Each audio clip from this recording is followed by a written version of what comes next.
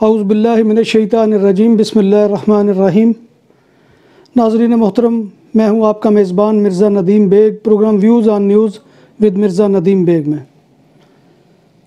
नाजरीन मोहतरम आज बहुत ही अहम मौजू पर आपके सामने गुफ्तु करनी है वैसे तो चूँकि हम मीडिया से ताल्लुक़ रखने वाले लोगों से हमेशा यही तो होती है और मीडिया के लोग भी अपना फ़र्ज़ मनसबी यही समझते हैं कि गिरदो पेश में आने वाले जो वाक़ात हैं, उनका अहवाल आपके सामने बयान किया जाए।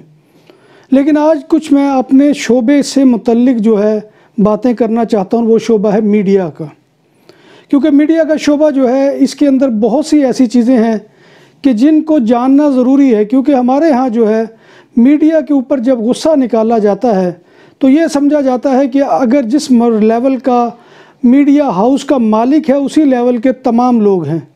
ये बिल्कुल ऐसा नहीं है, बल्कि मीडिया के अंदर भी जो है, बहुत से दर्जात हैं और उन दर्जात से ताल्लुक़ रखने वाले लोगों के जो है, काम भी अलग अलग हैं और उसमें हर कोई जो है, रुतबे के अतबार से जिस तरह बराबर नहीं है, उसी तरह से उसकी जो तनख्वाह है या उसका जो माली मुशाहरा है, वो भी बराबर नहीं है। ये सब चीज़ें अलग अलग हैं तो आज जो है, मैं इस हवाले से बात करना चाहता हूँ। और पाकिस्तान के मीडिया में जो ख़ास तौर पर इस वक्त एक बहुत बड़ी तब्दीली है और वो तब्दीली इस एतबार से है कि सेठ का जब दिल चाहता है, वो किसी अखबार को बंद कर देता है, किसी चैनल को बंद कर देता है और उसे कोई पूछने वाला नहीं कि उसके इदारे से वाबस्ता जो लोग हैं, उनका फ्यूचर क्या होगा, या उनका जो है वो मुस्तबिल क्या होगा, या उनकी जो है वो घरों के चूल्हे कैसे जलेंगे, उससे कोई गर्ज नहीं है। पैदर पे पाकिस्तान में पिछले दिनों कुछ ऐसे चैनल्स की बंदिश का खबरें आई कि जिनमें बहुत से चैनल जिसमें दो बड़े चैनल जो है वो बंद हुए। सबसे पहले वक्त चैनल जो नवाए वक्त वालों का था और उसके बाद दूसरा चैनल जो अभी चंद दिन पहले बंद हुआ वो आप चैनल है। तो इससे पहले कि मैं ये बताऊँ कि ये चैनल बंद क्यों हुए, थोड़ा सा हमें पस मंज़र को जानना होगा मीडिया के कि हमारे पाकिस्तान के अंदर जो है, दो शोबे जो है वो तनज़ली की तरफ़ गए। और उनमें सबसे पहला शोबा जो है वो मैं तो मीडिया ही को समझता हूँ। लेकिन उससे पहले एक और ऐसा शोबा है कि जो तनज़ली की तरफ़ गया और वो हमारा स्टेज था।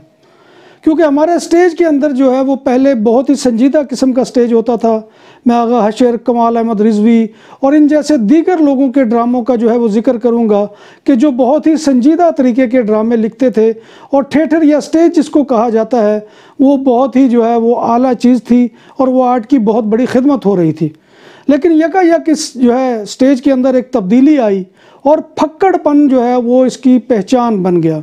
और उस फक्कड़पन ने फिर जाकर बाद में इतनी भयानक सूरत इख्तियार की कि आपको मालूम है कि उसके अंदर फिर वो नरगस और दीदार और इस तरह के लोगों के डांस सामने आए और उसने आकर जो है वो ठेठर की रही सही कसर और फिर जू मानी जुमले और वहाँ पर फोश गोई ने जो है वो इसका जनाजा निकाल कर रख दिया।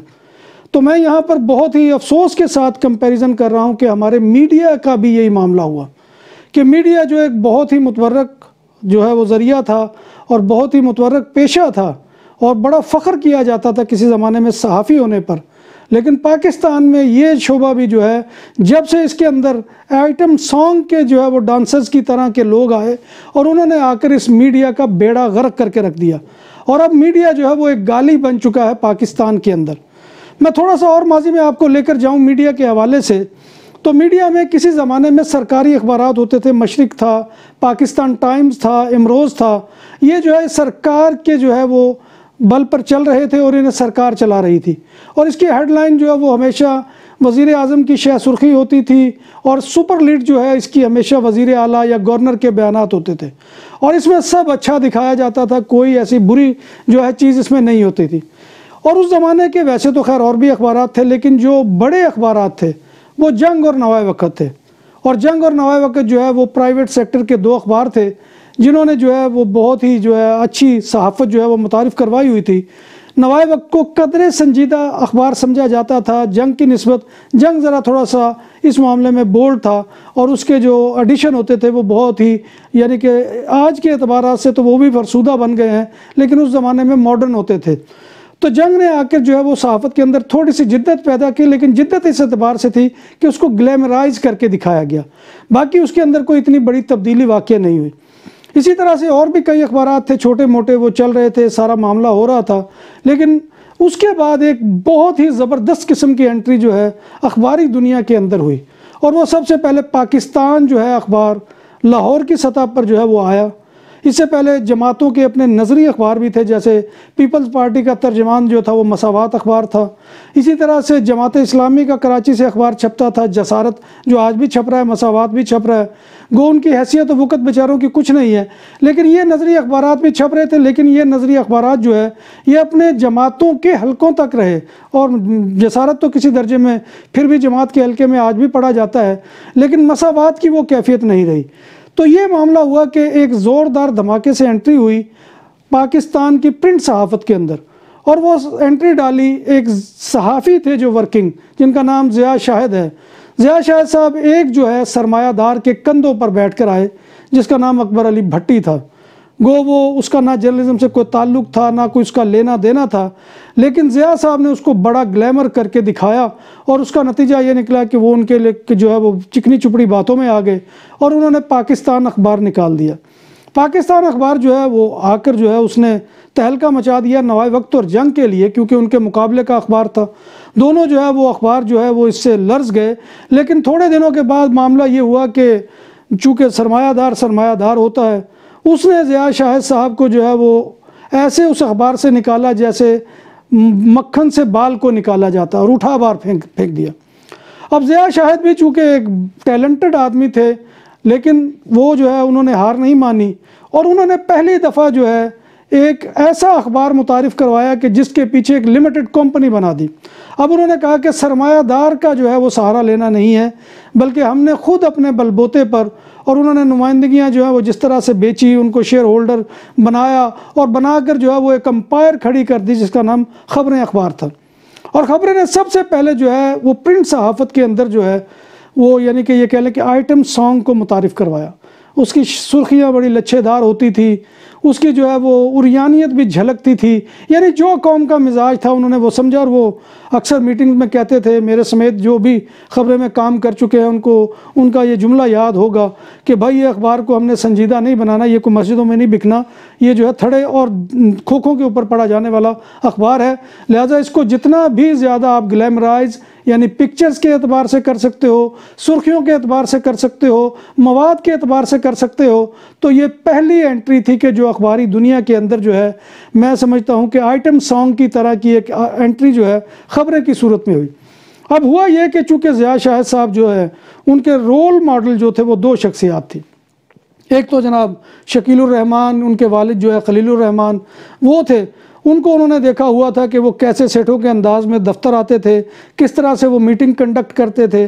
फिर ये स्टाइल चूँकि मजीद नज़ामी का था, वो ये भी समझते थे कि ये भी जो है, वो अब रोल मॉडल के अतबार से उन्होंने अपने आप को इनसे सुपर बनाने की कोशिश की।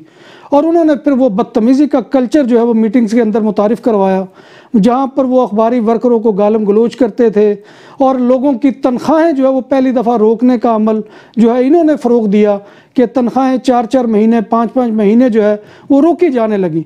और जो है वो वर्कर, अब मैं आपको बता दूँ कि वर्कर जो है वो दो किस्म के हैं। एक तो मालिकान है, आप मालिकान को कभी भी वर्कर के साथ जो है वो ब्रैकेट ना कीजिए। हमारे बदकिस्मती ये हुई कि हमारे यहाँ जब ये लोगों ने जो है सहाफ़त को गंदा किया कि जो मालिकान थे, जिसमें ज़िया शाह साहब उस वक़्त के सुरखेल हैं, प्रिंट मीडिया के अंदर कि उन्होंने आकर इसके अंदर जो है वो आइटम सॉन्ग के जो है वो अंदाज़ की सहाफ़त को मुतारफ़ करवाया। उसका नतीजा ये निकला कि फिर जो है सारे वर्कर जो है वर्कर अब क्या होता है? वर्कर अब जिसमें आप देखें कि चूँकि मैं अखबार के हवाले से बात करूँगा, उसमें आप जो है मशीन मैन प्लेट मेकर उससे ऊपर आते जाए कंप्यूटर ऑपरेटर उससे कातब पहले होते थे। उसके बाद आप अगर ऊपर आ जाएँ तो सब एडिटर्स हैं। सब एडिटर्स के बाद जो न्यूज़ रूम का जो है इंचार्ज है। यानी कि ये इतने लोग होते हैं कि जिनकी रोज़ी रोटी जो है, इससे वाबस्ता होती है। कहने को बेचारे वो भी अपने आप को सहाफ़ी कहते हैं, लेकिन वो एक वर्कर सहाफ़ी होते हैं। जो अदारे की पॉलिसी होती है वो उन्होंने करनी होती है। इसी तरह से रिपोर्टर्स का भी यही मामला होता है। लेकिन यहाँ पे क्या हुआ कि अब हमारी बदकिस्मती ये कि जब मालिकान ने इस मीडियम को बदनाम किया तो लोगों ने हर जो है, जिसने भी तारुफ अपना करवाने की कोशिश की कि मैं फ़लाँ अखबार में काम करता हूँ तो उसको सहाफ़ी समझ लिया गया। और सहाफ़ी समझने के साथ उसके ऊपर वो ठप्पा लग गया कि अगर ये फ़लाँ अखबार का है, फ़लाँ अखबार के मालिक का ये रवैया है तो ये भी उसी तरह का होगा। तो नाजरीन मोहतरम, ये जो है, ये पहली दफ़ा जो है, ये मामला हुआ। और जो है, वो सहाफ़त में हर किसी को सहाफ़ी समझ कर और हर किसी को मालिक के मिजाज के मुताबिक समझ कर जो है वो हमले होने शुरू हुए और उसका नतीजा ये निकला कि सहाफ़त का मीडियम जो है वो बदनाम होकर रह गया। क्योंकि रिपोर्टर्स की बाज़ दफ़ा ज़िम्मेदारी ये भी लगाई जाती थी कि ख़ुद जो है खाओ और हमारे लिए ले आओ। तो ये पॉलिसी ने भी जो है ये बहुत बेड़ा गर्क किया। फिर जो लोग नुमाइंदगियाँ, इससे पहले आज़ादी नुमाइंदगियाँ होती थी किसी भी अखबार का, अगर किसी इलाके में वो उकाड़ा का अगर नामा निगार है, या किसी ज़िले का ब्यूरो चीफ़ है तो वो होते थे एजाज़ी तौर पर। उनको जो है वो वहाँ पर बनाया जाता था और उसके पीछे रेपोटेशन भी देखी जाती थी कि इस बंदे की रेपोटेशन क्या है। लेकिन ख़बरें ने एक ऐसा मिजाज भी आके मुतारफ़ करवाया कि कोई इससे गर्द नहीं कि कौन क्या है और क्या उसकी रेपोटेशन है, बल्कि वहाँ पर तो देखा जाता था कि धांसू किस्म का बंदा कौन सा है तो उसको जो है वो नुमाइंदगी दी जाए। और नुमाइंदगी के एवज फिर उससे मुआवजा लिया जाता था। वो जो है पहली दफ़ा ढाई ढाई, तीन तीन, चार चार, पाँच पाँच लाख, अब ये मैं आपको जो है नब्बे की दिहाई की बातें सुना रहा हूँ। तो उस वक़्त ये बहुत बड़ी रकूम होती थी और ये रकूम देकर वो जो है वो बनते थे नुमाइंदे। ज़ाहिर बात है कि जिसने जो पैसा लगाया है, अब उसने वसूल भी करना है। और वो फिर इलाके में जाकर उसी तरह की वो बदमाशी करते थे। उनका पहले ही करेक्टर ऐसा होता था। चूँकि ये तो देखा ही नहीं गया कि कौन सहाफ़ी और कौन कितना पढ़ा लिखा है। फिर यहाँ तक हुआ कि एक शहर में पहले तो होता था एक नामा निगार उसको जो है वो वहाँ पर इख्तियार दिया जाता था एक छोटे शहर में। अब इन्होंने पहली दफ़ा जो है सिर्फ़ रकम हेंटने के लिए। वहाँ पर ना सिर्फ़ नामा निगार बनाए, बल्कि उन्होंने वार्ड जो है वो नुमाइंदे बना दिए। वार्ड नुमाइंदे से नीचे आके यूनियन कौंसिल के लेवल पे। यानी कि वो धमा चौंकड़ी मचा दी और सहाफ़त की जो है वो जनाजा निकाल के रख दिया, इन्होंने अर्थी निकाल के रख दी और सहाफ़त जो है वो बदनाम होकर रह गई। तो नाजरीन मोहतरम ये तो थी मेरी अब तक की जो है वो प्रिंट मीडिया तक की स्टोरी। इन दूसरी किस्त में मैं अब इलेक्ट्रॉनिक मीडिया की तरफ़ आऊँगा और आपको बताऊँगा कि वहाँ पर आकर जो है वो ट्रेंड क्या हुआ।